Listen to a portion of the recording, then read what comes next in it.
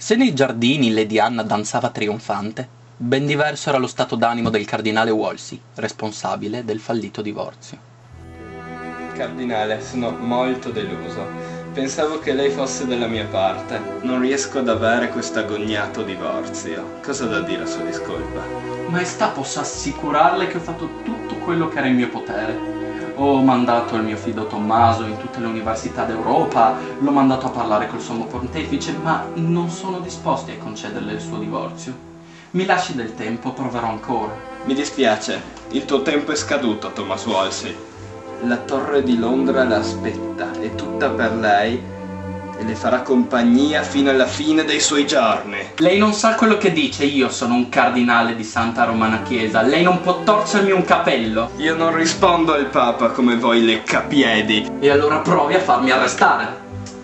E che c'è? È arrivato un messaggio dal re di Francia. E che cosa dice? La manda a cagare.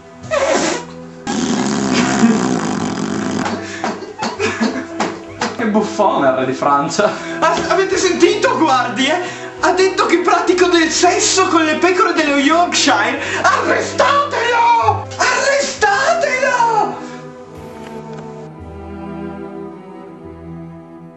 Cardinale, lei passerà il resto dei suoi giorni nella prigione peggiore d'Inghilterra, la Torre di Londra, dove ogni uomo, donna e bambino che viene rinchiuso viene continuamente e ripetutamente sodomizzato dai simpatici e gai secondini che non vedono l'ora di sodomizzare.